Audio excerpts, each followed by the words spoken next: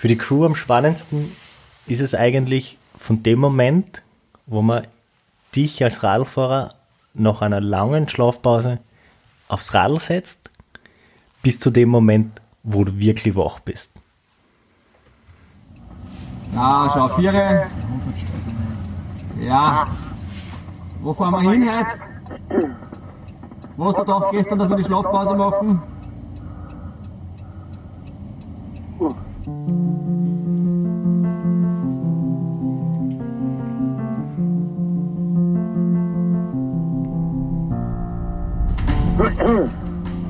Konzentrier dich.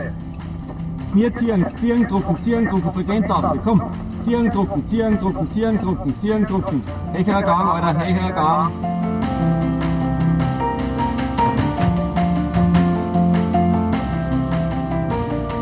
Sag mal, was, was glaubt, dass wir die Schlafpause machen? Ja, Blumigen. Ja, Blumigen, da fahren wir hin und die Schlafpause hast du gemeint, dass wir in Athens vielleicht machen. Die nächste. Die nächste, genau. Wir sind schon so weit. Am Mittwoch sind wir dort, heute ist Montag. Ja, jetzt kommt, jetzt kommt, jetzt kommt. Ja, passt. Ich bin noch nicht ausgegangen vorher, weil Obi und Auffi hat irgendwie gleich ausgeschaut. Ja, fahrt nicht ich fahr. Jetzt der Johnny ist der Fahrer, ich tue navigieren, also ich, der Kobi und der Rainer sitzt hinten.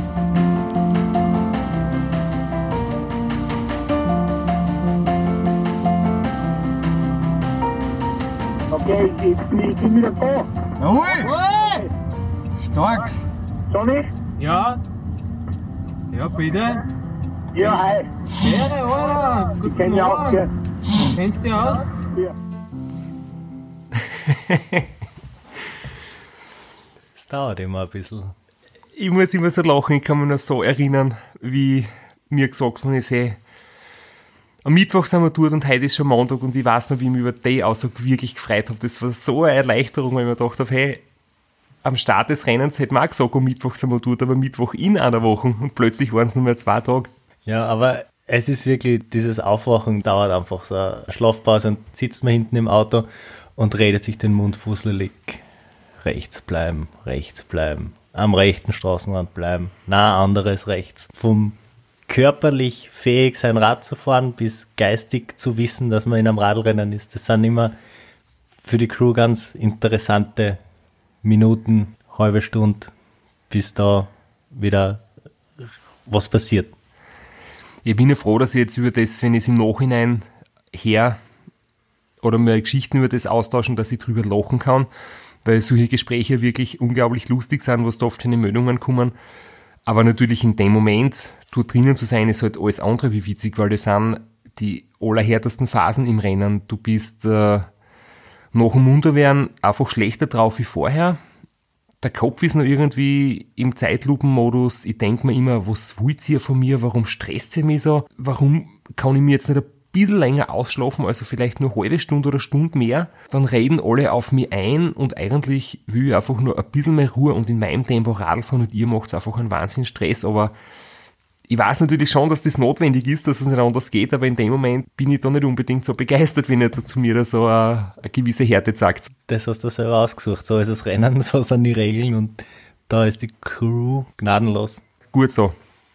Weil, wenn ich mir aussuchen könnt, wie die Schlafpausen ablaufen, wie lang sie sind oder wann sie stattfinden, dann waren wir wahrscheinlich heute noch unterwegs und dann nicht im Ziel. Das Schlafen ist einfach brutal. Wir kommen ja im ganzen Rennen auf eine Schlafzeit von etwa 5,5 bis 8,5 Stunden.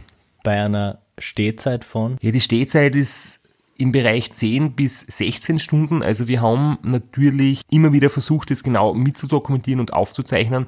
Aber es ist dann halt oft schwierig, wenn du eine Minuten stehst bei einer Ampel, wenn du irgendwo eine Minuten stehst, weil einer kurz pinkeln muss. Vielleicht ganz kurz, tagsüber ist das kein Problem, aber in der Nacht, ich habe es letzte Mal erklärt, also tagsüber die ersten 2000 Kilometer Leapfrog und dann ist Direct Follow erlaubt, aber nicht verpflichtend. In der Nacht ist Direct Follow, das bedeutet, der Radlfahrer muss immer im Lichtkegel vom Auto fahren. Und wenn jemand im Auto pinkeln muss, dann muss der Radlfahrer auch stehen bleiben.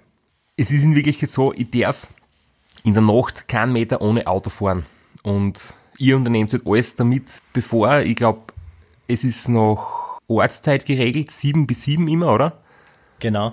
Weil es ja auch recht schwierig ist, das weißt eigentlich du besser, aber wir haben ja eigentlich immer zwei Uhrzeiten laufen, die Racetime und die Ortszeit. Genau, und es gibt während dem Rennen dreimal Ortszeit. Es gibt die Westzeit, es gibt die, die Mountain Time und es gibt die Ostküstenzeit. Und in ein paar Indianerreservate gibt es dann noch eine Zeitverschiebung von einer halben Stunde. Und letztes Jahr ganz interessant hat es dann noch ein Reservat gegeben, wo es plötzlich eine Sommerzeit gegeben hat. Das war dann wieder komplett anders. Aber für die Rennleitung, für die Time Stations zählt die Race Time, das ist Ostküstenzeit. Aber fürs Auto, für die Regelung, wann ist Direct Follow verpflichtend, zählt immer die Ortszeit und das ist 19 bis 7 Uhr in der Früh. Ja, und ich merke das immer, wenn so der, der Nachmittag zu Ende geht und wenn es langsam Richtung Abendämmerung geht, dann wird die Crew hinter mir nochmal nervös, weil dann nochmal schnell die Möglichkeit nutzen zum Stehenbleiben für eine Klopause und zum Auto auftanken, damit wir dann ab 19 Uhr auf keinen Fall mehr stehen bleiben müssen und dann wirklich durchfahren können. Wäre ja echt passiert, manchmal kann man nicht verhindern, aber es sind echt blöde Fehler, wenn man dann wirklich nach 19 Uhr nochmal tanken muss und der Radfahrer steht dann einfach bei der Tankstelle blöd herum während wir das Auto voll tanken müssen. Aber eigentlich wollten wir ja heute über Grenzerfahrungen sprechen. Die gibt es bei dem Rennen ganz speziell und wahrscheinlich sind die krassesten Grenzerfahrungen wirklich die in der Nacht und vor allem nach dem Aufwachen, weil da kann ich mich zwar an viele Sachen erinnern, es ist nicht so, dass ich Dinge vergiss, also wenn ihr da auf mich einredet, ich reagiere vielleicht nicht drauf, ich bin nicht Herr der Lage im ersten Moment, aber ich kann mich an die meisten Sachen ganz genau erinnern. Und ich glaube, dass, dass wir alle möglichen Probleme, die es bei dem Rennen geben kann, also wir haben da wirklich immer so Listen, auf denen wir äh, uns speziell vorbereiten, dass man halt auf jedes Problem wirklich im Vorfeld schon weiß, wie man reagiert, dass die Müdigkeit und der Schlafentzug einfach das Härteste am Ganzen sind. Weil man das auch einfach nicht trainieren kann. Weil man bleibt daheim nicht 48 Stunden wach und schaut, wie es einem geht und wie man dann darauf reagiert weil es ja nichts bringt, weil ich zum Beispiel im Training ja versuche, mich maximal zu verausgaben und dann so gut wie es geht zu regenerieren. Und ich würde nicht meine Leistungsfähigkeit oder meine Kondition verbessern, wenn ich jetzt einfach im Training nicht schlafe. Schlafentzug auszuhalten ist eine Geschichte von erstens, warum mache ich das? Was ist der Sinn von dem Ganzen? Du würdest in einem Training daheim im Prinzip keinen geben. Und Schlafentzug aushalten ist auch was, was mit erstens Erfahrung zu tun hat und zweitens auch noch mit Unterstützung von außen. Das heißt, wie reagiert ihr drauf, wenn ihr seht, mir geht's nicht gut oder mein Körpersprache ist schlecht oder ich gebe keine Antworten mehr, wenn ihr was mit mir fragt. Und da habt ihr eigentlich ein ziemlich gutes Repertoire wieder auszuholen. Ja, es ist, es ist wichtig in, in solchen Situationen den Athleten sehr gut zu kennen, weil halt jeder anders ist und anders reagiert auf so Schlafsituationen, was bei uns bis zu einem gewissen Grad immer funktioniert und für uns dann im Nachhinein auch immer sehr lustig ist, wenn du Schlafentzug hast und Halluzinationen oder irgendwelche Aussetzer, einfach mitspülen und dir einfach das, das Gefühl zu geben, äh, das, was du uns da gerade erzählst, das ist total, total normal und wir sind jetzt da mittendrin und lassen die einfach in deinem Glauben. Irgendwann kommst du von allein drauf, aber es wäre halt verschwendete Energie und vielleicht wenn wir dir jetzt sagen, na, so ist es nicht, das ist ganz anders und das stimmt gar nicht. Und vielleicht verunsichert dir das dann sogar so sehr, dass du absteigst vom Radl und das, das will ja auch keiner. Und da sagen wir, ja, ja, passt schon, wir machen schon, wir kümmern uns drum. Es ist schon angerufen worden, es ist schon alles organisiert, es kommt gleich jemand, aber vor der Wahl weiter. Beste Geschichte oder eine der besten Geschichten, wenn ich mir zurückerinnere, war, ich bin irgendwann einmal noch drei, vier oder fünf Tage, ich weiß es nicht mehr. Aber die Geschichte weiß ich noch ganz genau. Dahin gefahren, nach einer Pause. Es ist mir gerade kalt gewesen. Ich habe noch ein bisschen Schüttelfrost gehabt, weil das ist auch eines der Dinge, die man erlebt, wenn man munter wird und der Kreislauf noch nicht ganz auf der Höhe ist. Und ich habe mir einfach Sorgen gemacht, wo ist mein Radl? Ich habe mein Radl vergessen und äh, dann ist mir eingefallen, ich habe, glaube ich, gerade irgendwo im Wohnmobil geschlafen und es die einzige Möglichkeit ist, ich muss mein Radl im Wohnmobil vergessen haben. Dann habe ich das meine Betreuer gesagt und die Antwort war dann so, ja, ja, das macht gar nichts, wir haben im Wohnmobil schon angerufen, die bringen da dann die Radl und du kannst da mal weiterfahren. Und in dem Moment war ich einfach glücklich und zufrieden, weil ich gewusst habe, hey, meine Crew versteht mich und die helfen mir. Und wenn ihr in so einer Situation zum Beispiel sagt, hey, du hast gerade einen völligen Blödsinn geredet und du sitzt eh gerade am Radl, was, was, von was fantasierst du da, dann hätte ich das Gefühl, ich bin in einer anderen Welt wie ihr, ihr seid irgendwie, ihr wisst mehr als ich. Oder ihr seid vielleicht nicht auf meiner Seite. Man hat halt dann in, in, in dem Schlafentzug ganz komische irgendwie Vorstellungen und deswegen ist einfach das Beste, ihr lasst mich im Glauben und ich denke mir so, hey, die verstehen mich, das sind echt gute Leute. Ja, und wenn du mir erzählst, du bist gerade auf deiner Trainingsrunde und es geht super dahin und ah, bist schon das dritte Mal bei der gleichen Kreuzung vorbei und du fährst da im Kreis und es geht super dahin, dann werde ich dir nicht erklären, dass man auf einer geraden Linie von West nach Ost fahren und in einem Rennen sind. Weil es ist ja wirklich, in dem Moment, es geht ja wirklich super dahin, es geht was weiter, es wäre einfach schade, die da rauszuholen. Ja, es gibt ähm, Geschichten zum Beispiel von Juri Robic, der fünffacher Ramsey und zu seiner Zeit, bevor er dann in einem Verkehrsunfall verstorben ist, der absolut Beste war.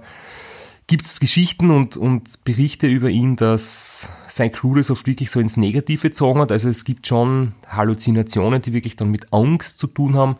Er war Soldat, er war beim, beim Heer und da ist halt teilweise auf der Flucht gewesen vor anderen Soldaten und hat sich solche Sachen eingebildet und sein Crew hat es noch befeuert. Also da ist dann vielleicht schon die Frage, was kann man noch moralisch vertreten. Aber ich glaube, so wie wir das machen, wenn ich glaube, ich fahre im Training oder bei ein Rennen oder wenn ich glaube, mein Radl ist verloren worden und ihr habt das eh dabei, dann ist das, glaube ich, ja, noch nicht so schwer gewichtig. Oder du sitzt drauf. Dabei haben ist das eine, drauf sitzen und dahin fahren ist, ist was anderes.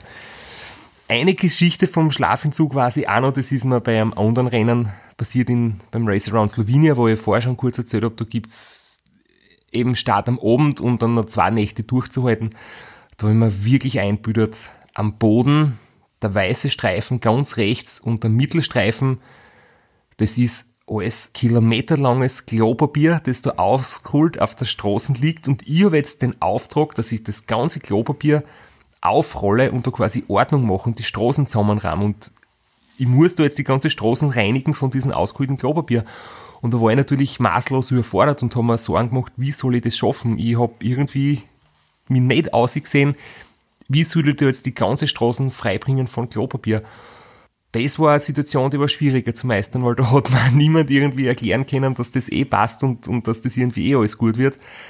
Aber das war, wie gesagt, eine der schlimmsten Phasen, die ich gehabt habe, weil wir da zwei Nächte wirklich komplett ohne Schlaf auskommen versucht haben. Und das haben wir ja beim Ram jetzt immer geändert, dass wir doch ein bisschen früher die Schlafpause machen, dass so die ganz krassen Müdigkeitserscheinungen gar nicht auftreten. Also es ist wirklich eine Gratwanderung, will nicht, dass, dass das falsch verstanden wird und immer nur lustig ist. Man ist auch im Verkehr unterwegs, man ist auch auf Straßen unterwegs und das rechts bleiben, rechts bleiben, anderes rechts. Man schaut schon auch auf die Sicherheit des Fahrradfahrers und du bist da in unserem Lichtkegel im Pacecar. Das ist alles schon sehr sicher, aber man darf nicht vergessen, dass man auf öffentlichen Straßen unterwegs ist und man darf das nicht nur lustig sehen. Es ist überhaupt nicht lustig. Ich mache es mir oft manchmal lustig, damit ich selber, oder es bleiben mir oft im Nachhinein viele lustige Geschichten hängen und die, die ganz äh, wüden Geschichten blendet man bald aus. Aber natürlich, man muss ja dazu sagen, es gibt beim Race Across America bisher zwei tödliche Unfälle in der mittlerweile 37-jährigen Geschichte des Rennens und beide waren Verkehrsunfälle mit äh, Müdigkeitsursache. Das heißt, du ist Radfahrer einmal im Sekundenschlaf auf die linke Straßenseite gekommen, tagsüber in ein entgegenkommendes Fahrzeug geprallt und ein zweites Mal ist was passiert, wo. Wo man es nicht weiß, weil kein Auto dabei war. Und das ist, sollte nicht passieren. Also wir schauen auch wirklich als Crew immer drauf, in deiner Nähe, in Sichtweite zu sein, um genau sowas so gut wie möglich zu verhindern. Bei dem Unfall, den du jetzt meinst, war noch ähm, zusätzlich das Problem, dass die Regelung verletzt worden ist, sprich es war schon dunkel und der Radfahrer ist trotzdem ohne Crew unterwegs gewesen und das ist ja eigentlich nicht erlaubt. Und daher war es dann wirklich schwierig, weil ja da wirklich dann die Frage war, warum passiert sowas, wer ist schuld, warum ist die Crew nicht bei ihm oder hat der Radfahrer selbstständig gesagt, er fährt weiter. Also zum Kick ist bei uns die Vertrauensbasis so groß. Ich weiß, ich kann in dem Zustand mich aufs Radl setzen, weil ihr passt auf mich auf. Wenn es kritisch wird, würdet ihr mir noch mehr Pause verordnen. Ihr wisst auch, dass ich das zusammenbringen kann, in dem Zustand weiterzufahren und es ist außerdem in der Nacht ja so gut wie kein Verkehr. Meistens, ja. Es gibt ein paar Passagen, die sehr arg sind vom Verkehr her. Also es gibt ein paar Passagen, wo das Verkehrsaufkommen sehr groß ist und da merkt man, dass das zusätzlich zehrt an deinen Nerven und dass der Verkehr, obwohl du schon müde bist und man eigentlich denkt, okay, jetzt müsste man voll konzentriert sein, dass die eigentlich noch müder und unkonzentrierter macht. Und das sind dann die Phasen, wo man dann immer sehr vorsichtig und sehr zurückhaltend sind und dann lieber noch ein paar nicht mehr machen. Da gibt es die eine Passage, die 150 Kilometer über den Highway, über, das ist eines der verkehrsreichsten Stücke auf der ganzen Strecke. Da ist so wahnsinnig viel Verkehr, da fährt man am Bannenstreifen. Da liegt nur Roadkill und kaputte Reifen und Felgen und sonst irgendwas herum. Und da ist so wahnsinnig viel Verkehr und da muss man wirklich, wirklich gut aufpassen. Aber es gibt ja den anderen Effekt, dass umso mehr los ist, umso weniger blockt der Schlafentzug oder blockt mir die Müdigkeit. Weil zum Beispiel eine Abfahrt in den Rocky Mountains ist insofern so schwierig, weil es oft sehr lang gerade oben geht und es geht lange Zeit bergab, man ruht dahin, man muss nicht treten und da ist es mit der Müdigkeit viel, viel schwieriger als zum Beispiel, wenn man in die Alpen unterwegs ist, beim Racer und Austria, wenn man an Großglockner fährt und man ist müde, hat man so einen Stress, weil viele Kurven sind schwierig technische Abfahrt und du musst du voll konzentriert sein. Da verfällt das Gehirn nicht in so eine Monotonie und so eine Müdigkeit wie auf einer ganz monotonen, geraden langen Passage. Und ähnlich ist schon auch im Verkehr. Also ich merke, wenn jetzt kurzfristig viel Verkehr ist, dann bin ich wieder hellwach und ist stresst und wird Adrenalin ausgeschüttet. Aber natürlich, wenn diese Phase länger andauert, wie auf diesem Highway, dann ist einfach nach einer gewissen Zeit der Kopf überfordert und dann wird es im Verkehr auch extrem gefährlich. Um das Müdigkeitsthema irgendwie abzuschließen, ich glaube, man kann sich einfach so vorstellen, es ist ähnlich wie beim Autofahren. Jeder kennt das Gefühl, wenn du spät am Abend in der Nacht allein im Auto sitzt und du kämpfst mit der Müdigkeit und es ist wirklich schwer und es ist besser, du bleibst stehen und machst eine kurze Pause. Aber es ist viel leichter, wenn du einen zweiten hast, einen Beifahrer, mit dem du einen Spaß hast, mit dem du reden kannst. Und zum Glück habe ich so ein Beifahrer unter Anführungszeichen, nämlich ein ganzes Auto mit Beifahrer hinter mir und ihr seid immer lustig und haltet mich bei Laune und durch die muss ich auch sagen, Funkgeräte, das es mittlerweile gibt, mit denen du immer eine große Freude hast, wenn du das konfigurieren darfst, wird das Ganze nochmal um einiges erträglicher, weil da kann man wirklich gut reden. Ja, das ist der, der mentale Aspekt der, der Grenzerfahrungen, die man bei dem Rennen, also ich denke auch, das ist das, das Wichtigere und das, das Schwierigere zu verständlich zu machen, weil wenn ich zurückkomme von einem Ram, dann fragen mich alle, wie schaut sein Hintern aus? Und das wäre dann eigentlich das Körperliche, was man irgendwie viel mehr verständlich machen kann. Das will jeder wissen. Obwohl ich als Hobbyfahrer natürlich weiß, dass die Fußsohlen und die Hände eigentlich die größeren Problemstellen sind als der Hintern. Ja, du kannst die Frage sicher gut beantworten. Du schaust jeden Tag zwölf Stunden auf meinen Hintern. Aber du siehst Aber halt nicht, was da ist die Hosen drunter da, passiert. Da, dazwischen zum Glück so genau, wie es dann auch nicht wissen. Ja, natürlich ist der Hintern eins der, der gröberen Baustellen. Da haben wir auch schon sehr viel dazu gelernt, wenn ich zurückdenke. Erstes RAM, zweites RAM, da waren es wirklich fleischige, offene Stellen, da war der Hintern komplett offen. Es war so schmerzhaft. Ich habe ein Schmerzmittel braucht, ein lokales und es war wirklich nicht lustig. Das hat sich dann glücklicherweise im Laufe der Jahre verbessert und zwar sind da halt ein paar Faktoren wichtig. Gutes Sitzpolster in der Hosen, die Sitzposition am Radl und natürlich der Sattel. Und noch was, nämlich was man sich einschmiert. Und da haben wir bei alle Bereiche ein bisschen was dazugelernt. Und wir haben auch, du hast auch ein zweites Fahrrad. Also es ist auch, wenn man vom Zeitfahrer aufs normale Radl und wieder zurückwechselt, dann sitzt man einfach ein bisschen anders drauf und die Druckstellen verteilen sich einfach ein bisschen besser. Ja, ihr habt halt jetzt wieder ein bisschen mehr Stress dadurch gekriegt, weil wir halt öfters einmal stehen bleiben müssen. Das darf man übrigens überall, wo man das möchte. Da gibt es jetzt keine, kein Limit oder keine Regelungen. Man kann jederzeit das Radl wechseln, aber das heißt, die Crew muss ähm, aktiv werden und in kürzester Zeit vom Dachträger das Gerät abbauen, vorfertig machen und das andere Radl wieder zurückbauen. Ja, Stress pur, wie immer, weil da geht es um, um jede Sekunde, wie in der Formel 1 beim Boxenstopp. Aber das ist eben nicht nur vielleicht ein zeitlicher Vorteil, dass man aerodynamisch etwas optimiert hat, sondern wirklich auch, es macht es zum Sitzen leichter, die Sitzprobleme sind im Laufe der Jahre weniger geworden.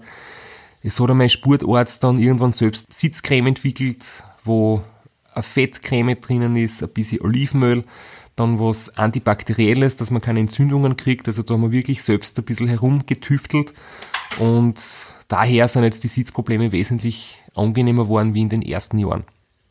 Was aber beim Sitzen das noch größere Problem ist, nämlich ist die Teufelsspirale, schlechtes Sitzen heißt, man fährt mehr im Stehen und das heißt wiederum mehr Gewicht auf die Handflächen und mehr Gewicht auf die Knie und auf den Fußsohlen. Und die Nervenbahnen, die da halt durchlaufen, das sind wirklich, ja, sensibel und da hat anscheinend jeder Fahrer seine, seine unterschiedlichen Schwächen oder, oder, oder Stärken. Bei mir ist es jetzt so, dass man sehr bald die Finger einschlafen können. Die Straßen ist rau, es vibriert immer der Lenker und mehr im Stehen von hast mehr Druck auf die Handflächen. Andere Fahrer habe ich äh, einmal gefragt, die haben das gleiche bei den Füßen, die haben eingeschlafene Zehen, aber bei den Fingern gar nichts. Das heißt, das ist anscheinend sehr, sehr individuell. Vielleicht sitzt er einfach schlecht drauf. Seit zehn Jahren Fahrradprofi und jetzt komme ich daher und erkläre dir, dass du schlecht drauf sitzt. Ja, tatsächlich ist äh, mögliche Ursache immer die Halswirbelsäule. Wenn man zu gestreckt oben sitzt und den Kopf so weit nach hinten tut, dann erklärt dann jeder Physiotherapeut zu Recht, dass sich das auswirkt auf die Nervenbahnen bis in die Fingerspitzen, aber Du mit deinen Kinderradeln, so wie du da drauf kauerst, also zugestreckt sitzt einmal nicht drauf. Na, wir haben das schon mal untersucht mit so Nerventests. Äh, es ist tatsächlich der Druck vom Aufleger am Unterarm und der Druck in die Nerven in der Handfläche, aber das ist halt leider was, man kann nicht alles vermeiden. Die Dinge sind halt leider einfach, ja, kehren halt leider dazu. Aber das sind Sachen, die sind managebar.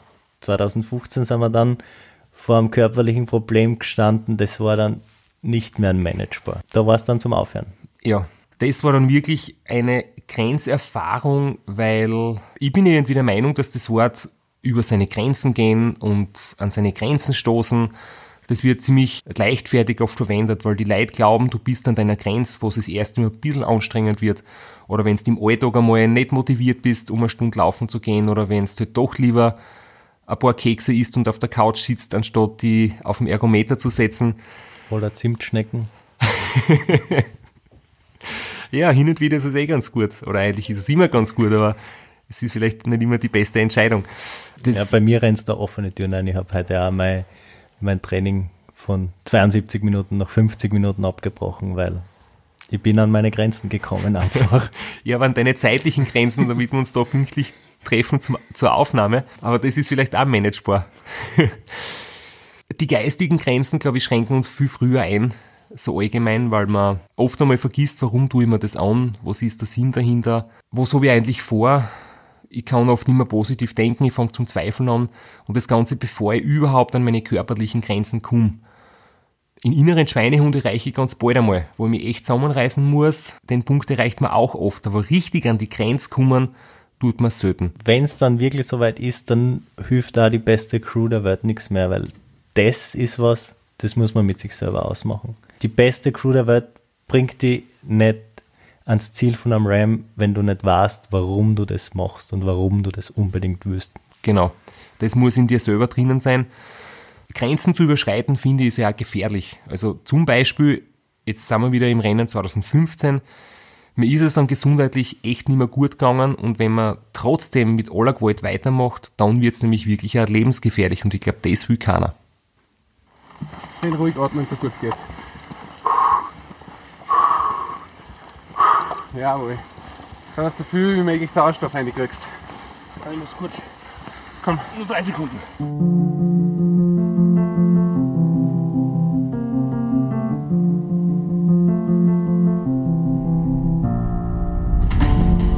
Ja. Sauerstoff in die Lungen pumpen. Ja, genau. Es geht alles weiter in die Haxen. Kurz vorm Umpuffen, weißt du. Ja. Ja, was kaltes Trinken gut. Sehr gut.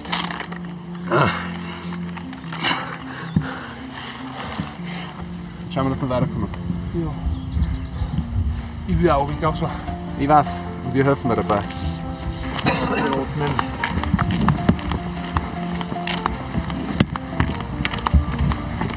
Genau. Schau, dass die Atmung ein bisschen im Bauch habe, kriegst auch nicht nur oberflächlich auf der Lunge, am Brustkorb, sondern richtig schön im Bauch auch rausfahren. Genau. Entspannt im Bauch auch.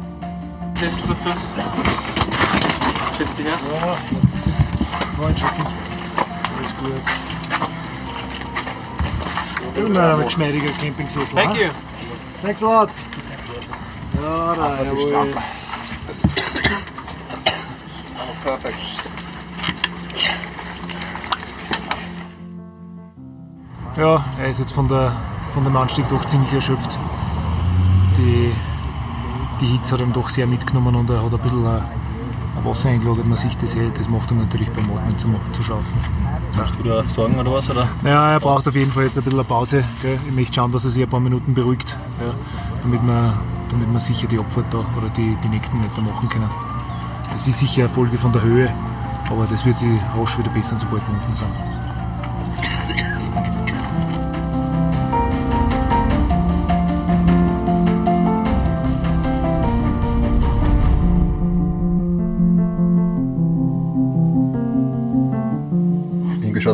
Total gleich aus wie Appalachen normalerweise. Ja, Vier Tage später wir sind gefühlt. 30 Time Stations Vor der Situation. vor der Situation, wo wir eigentlich normal sind. Wie geht's dir, wenn du das hörst? Ja, das sind genau die körperlichen Grenzen, an die man da stoßt bei dem Rennen. Also äh, gerade am Anfang, das ist kein Gespräch zwischen zwei, die irgendwo sitzen, sondern man hört an den Flipflop-Geräuschen vielleicht, die spazieren neben dir her auf einen Berg, den du normalerweise ziemlich schon angestrengt, aber doch locker bewältigen kannst. Und es ist jetzt auch gesagt worden, dass normalerweise mir erst 30 Time Stations später so geht. Das war, glaube ich, jetzt im Nachhinein ist man immer gescheiter, nicht ganz die Wahrheit, weil so wie es mir dort gegangen ist, geht es mir normalerweise im ganzen Rennen nie, weil da habe ich wirklich schon deutliche Krankheitssymptome gehabt.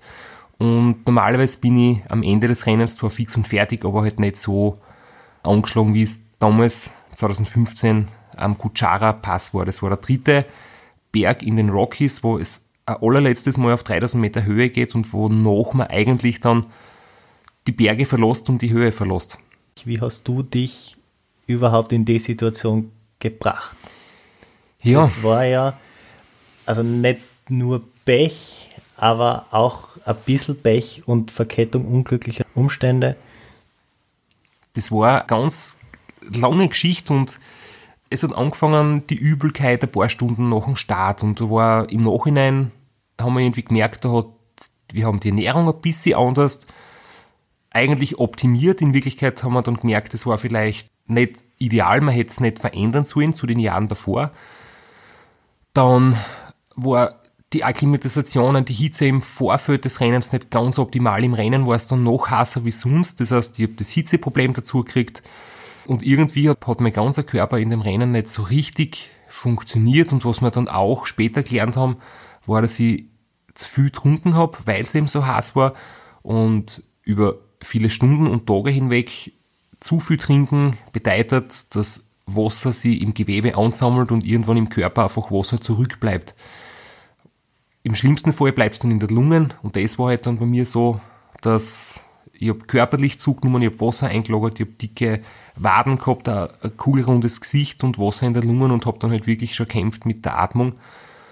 Und wie wir dann oben am Berg waren, war die Frage, sofort Abfahrt, weil dünnere Luft würde es besser machen, das Verlassen der dünnen Luft würde es besser machen, oder oben kurz Pause machen, weil ich vielleicht unsicher bin in der Abfahrt, Ich weiß nicht, ob es andere Meinungen auch noch gegeben hat, aber es war, glaube ich, für euch in der Crew irrsinnig schwierig, ähm, da Es- abzuwiegen. Es hat noch den, den dritten Vorschlag gegeben, mit dem Wohnmobil runterfahren, dich einpacken, unten schlafen, hoffen, dass sich's bessert, dich wieder zurück raufführen, weil du musst ja alles an Strecke mit dem Radl bewältigen und dann, wenn es da besser geht, die Abfahrt zu fahren. Das war die dritte Option, war aber dann, ist dann verworfen worden, weil der Benefit im Vergleich zu selber abfahren minimal war, aber der Zeitverlust riesig. Aber ich kann mich einfach noch daran erinnern, ich habe wirklich sehr, sehr selten Angst, wirklich Angst vor etwas. Nur in dem Moment habe ich wirklich gewusst, ich habe es vorher schon einmal erzählt, ich habe schon einen, einen Moment gehabt, wo ich am Tag davor, vor den, am ersten Berg der Rockies oder am Berg davor, eingeschlafen bin bergauf und ich Man muss- nicht bergab einschlafen und stürzen. Man muss kurz dazu sagen, das sind drei Berge, das sind drei Berge, die sind hintereinander, aber auch auf der Strecke schaut es sehr kurz aus, aber über die drei Berge ist man über 16 Stunden unterwegs. Das, also wenn du sagst am Vortag, dann ist es auch tatsächlich am Vortag passiert. Ja, und was natürlich dann auch noch dazu beitragen hat, war einfach ähm, richtiges Pech, weil ursprünglich geplant in unserer Strategie ist es so, vor den Rockies ein Powernap, nach den Rockies die erste längere Pause. Das geht sie normalerweise aus. Nur jetzt haben wir durch die vielen Dinge, die nicht gelaufen sind, einfach eine Verspätung gehabt. Wir sind nicht in der Nacht über die Rockies gekommen, was von der, von der Temperatur her natürlich nicht angenehm ist, sondern wir sind mitten am Tag drüber gekommen, was, was ich noch nie erlebt habe, dass es auf 3000 Meter 30 Grad hat. Und wir haben die letzte Pause davor machen müssen schon in den Bergen. weil das Wohnmobil einen Botschen gehabt hat, um das jetzt ganz profan auszudrücken. Ich bin da, äh, das Wohnmobil hat so Stockbetten gehabt, genau über der Achse und ich bin geschlafen direkt über dem Reifen und den Reifen hat es komplett zerrissen, die Karkasse hat es aber und eingewurzelt zwischen die Reifen und ich habe genau drüber geschlafen und das Wohnmobil ist ja in Wirklichkeit nur aus so 5 mm Pressspanplatten zusammengeleimt. Mehr ist es ja nicht. Und ich bin kurz aufgewacht und habe gedacht, ah ja, gut, es wird sich gekümmert und habe weiter geschlafen. Und dann bin ich aufgewacht, da bist du hinten gelegen, bist massiert worden und es war eine richtige Schlafpause. Und damit habe ich überhaupt nicht gerechnet. Wir haben eigentlich die Entscheidung gehabt, das Wohnmobil hängt jetzt in den Bergen fest. Der Bahnendienst kann jetzt in der Früh kommen. Und wir müssten entweder die Pause im Mobil machen, in der Höhe, was wir nicht wollten, oder weiterfahren und weiter unten im Begleitfahrzeug schlafen. Dann war es trotzdem leider so, dass wir dann die Entscheidung getroffen haben, okay, ich schlafe jetzt oben in den Bergen. Da ist man zwischen den Bergen immer noch auf über 2000 Meter Höhe, weil ich einfach Angst gehabt habe vor der Abfahrt in der Nacht. Das war zwischen dem ersten und dem zweiten Pass. Da war eben die notgedrungene Pause und ich habe das wirklich am nächsten Tag auch noch gemerkt, ich war viel schlechter erholt, ich habe mich in dieser Pause viel schlechter regeneriert und dann eben dieses Drama am Kutschara-Pass und von dort weg dann die Abfahrt, da habe ich wirklich Angst gehabt zu stürzen. Es ist dann gut gegangen, die Crew hat gut auf mich aufpasst und wie wir unten waren, war dann wirklich die Pause länger angesetzt, waren es deutlich über eineinhalb Stunden, da ist im Vordergrund gestanden, auskurieren, aufs Rennen jetzt mal vergessen, also auf die Zwischenstände, auf den Rennverlauf einfach nicht achten, sondern mir holen und dann weiterfahren, weil mittlerweile habe ich auch den ersten Platz verloren, der Severin Zotter oder Sevi, wie wir ihn nennen, den du auch kennst, du hast ihn ja schon mal betreut früher. Ehemaliger Arbeitskollege als Fahrradbote, als Fahrradbotenlegende. und Trainingskollege und guter Freund von mir, wir sind beide aus Graz. Er hat mich in der Zwischenzeit überholt, ist in Führung gelegen, ich war auf Platz 2, aber es war eigentlich jetzt gerade alles egal. Ich habe gemerkt, ähm, ich bin jetzt an meinen Grenzen oder meine Grenzen haben mich eingeholt, ich bin nicht gesund, ich muss aufpassen, dass ich nicht noch kränker werde mit dem Lungenödem, das sich entwickelt hat. Und die Pause hätte eigentlich helfen sollen, das Ganze in den Griff zu kriegen. Kurzfristig hat es ja eh geholfen. Also ich hoffe, dass ich es nicht verschrei, aber eigentlich ist Gänse mein Terrain. Flach, geradeaus und ich hoffe, dass ich heute ordentlich aufholen kann.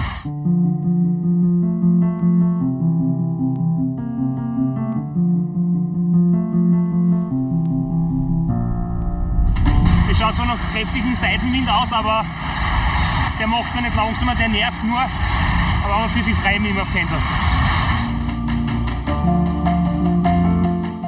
Eine meiner Lieblingspassagen, ich bin mir nicht sicher, ob ich Kansas wirklich gern mag oder ob ich mir es nur einrede oder ob ich es nur sage, um andere Radlfahrer ein bisschen zu beeindrucken, aber wir sind tatsächlich in Kansas angelangt. Die gesundheitlichen Probleme waren vorübergehend besser und wie es weitergeht, erzählen wir euch beim nächsten Mal.